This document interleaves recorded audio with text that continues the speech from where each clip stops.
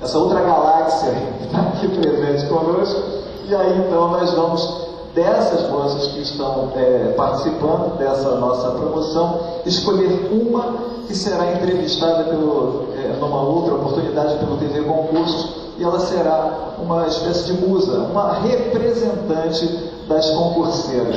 Os cursos gentilmente estão é, doando bolsas de estudos integrais para essas moças que vão desde 50% até é, bolsas de estudos 100% integrais foram cinco cursos. É, a Academia do Concurso Público, o curso ênfase, o curso PLA, o curso MAX e o curso múltiplo. Vou convidar cada uma delas que venha até aqui. Eu vou fazer uma breve entrevista e cada uma delas vai lançar um determinado tema. Qual é o seu nome?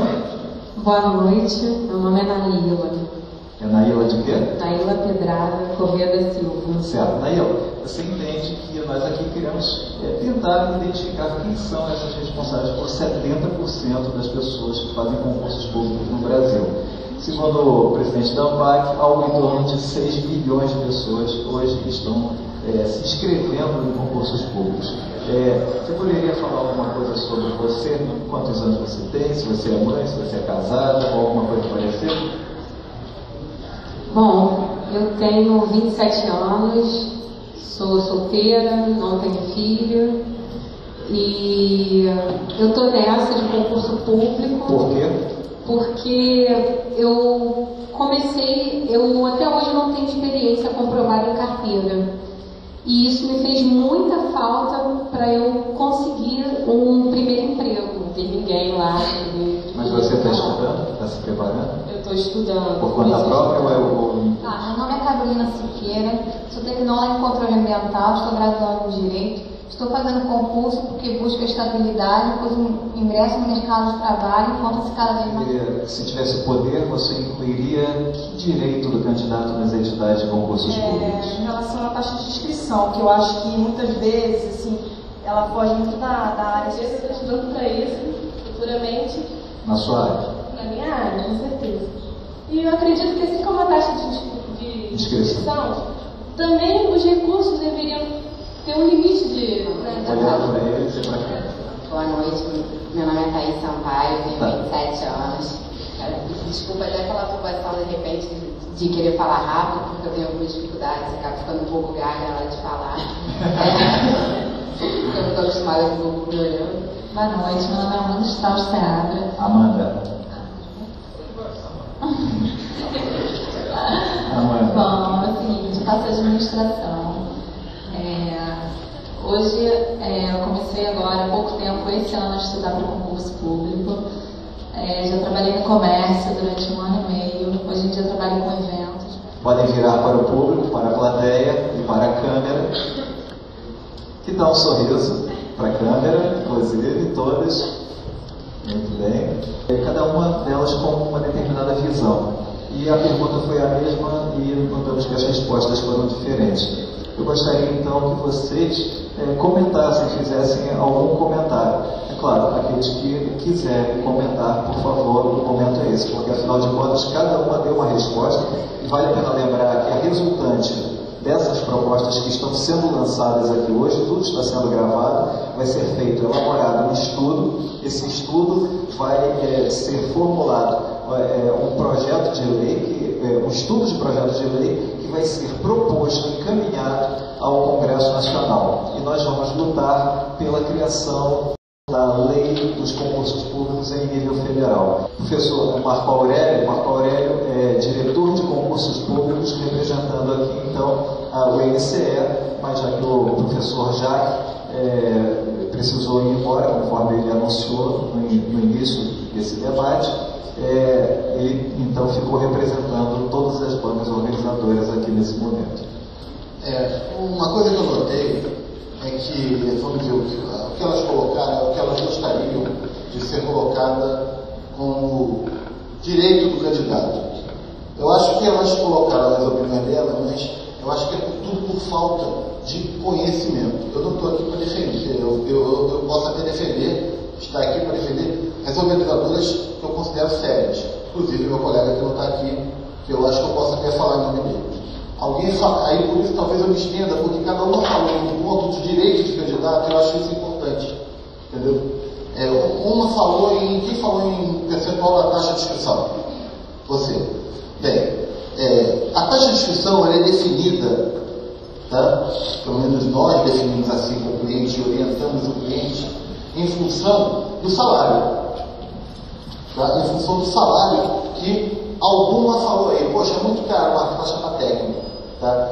Mas a gente sugere que seja um valor referente ao salário. É claro que quem falou defensoria aí, defensoria, uma taxa. Você acha que é caro? É caro, mas é uma prova que a característica do concurso exige é, recurso humano para corrigir. É característica do concurso da defensoria. Tem que fazer uma prova, um baita provão, escrito, não uma prova de múltipla escolha, a primeira fase.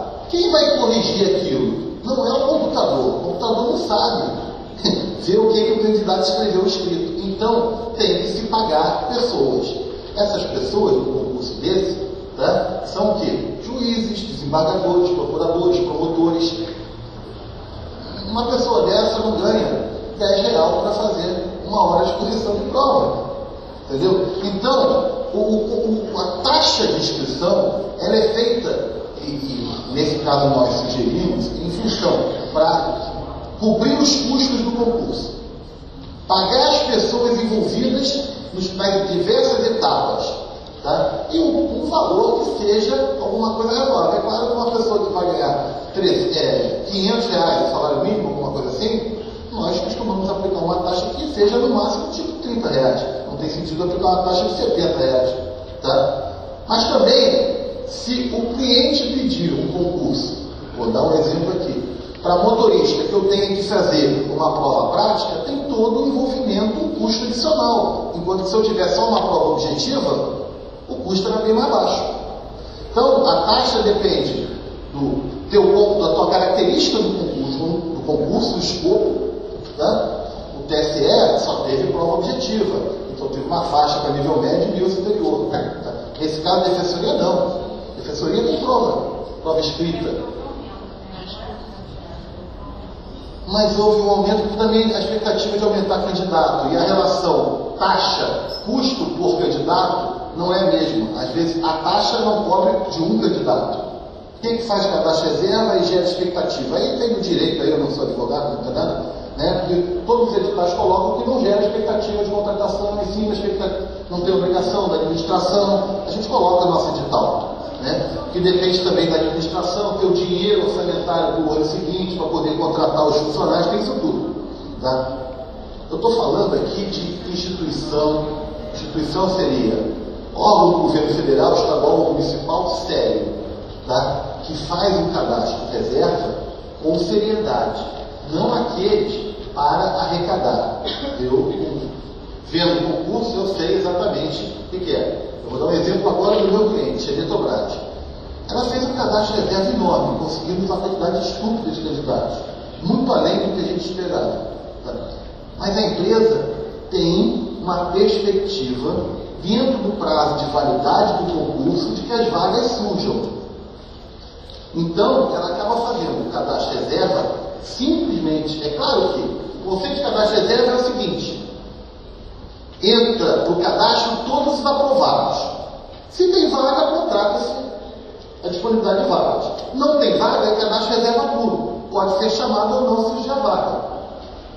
Já adianta o processo que vai que daqui a seis meses, cinco administradores peçam é, para ser mandado embora ou chegam na aposentadoria. Então, ela dispõe do cadastro reserva na expectativa que a vaga surja a curto ou médio prazo, dentro do prazo de validade. É claro que também existem os que fazem isso tá? sem um critério. Tá? Mas aí a gente não, não, não partilha com isso. Tá? Temos de colocar o, a classificação. A classificação. Eu acho que é aí que vem a diferença entre uma e outra organizadora, entre umas e outras organizadoras. Infelizmente, a gente hoje em dia tem mercado que é, até mesmo por aquele conhecimento, ah, porque eu conheço um cara que faz negócio lá e depois a gente consegue dar um jeitinho no resultado. Entendeu? Tem, eu digo que tem disso no mercado.